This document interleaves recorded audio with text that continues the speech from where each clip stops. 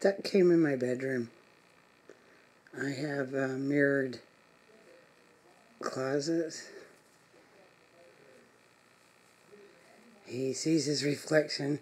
He lost his mate, so he right now is playing with the duck in the mirror.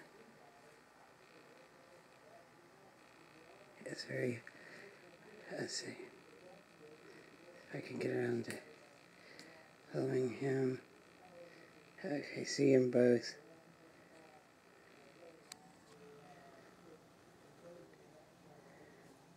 He's gonna go to sleep. He found a friend. Finally. Some peace. Should have thought of this a long time ago. okay, bye. Had to show this.